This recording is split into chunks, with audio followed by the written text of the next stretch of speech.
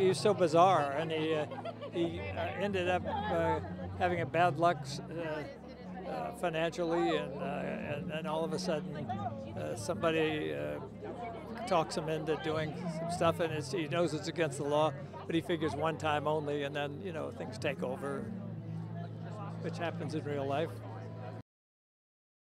I've got Diane, who is uh, somebody I've admired for years and never had the opportunity to work with.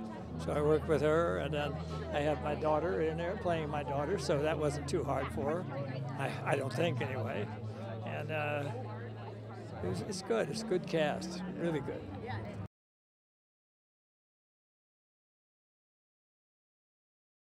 It's just heaven. It's just bliss. I mean, he knows what he's doing, and how rare is that?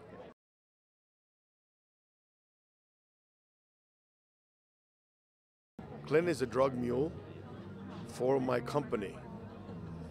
I run a cartel per se, you know, and he's uh, my main mule, most successful mule. Clint is a very easygoing guy. You know, I've, I know him socially prior to working with him for many years, so you know, it was pretty much as we like having dinner with him. You know, you just show up and there's a camera there. Somehow it starts rolling when you're acting. Nobody says anything. Things happen in a very organic way, and and there's not, not a lot of distinction between real life and and what's happening in the movie.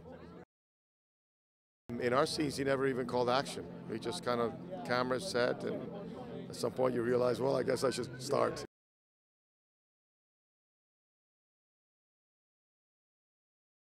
As a director, um, he's somebody that trusts his talent, and it's amazing. That's a gift because um, the few notes that I got, the few big directions that I got from him were important and so amazing, and it changed everything. And then the rest of the time, it's just he's like, you know what to do. He would tell me, you know how I go, okay, great, and you feel you don't feel abandoned, you feel confident.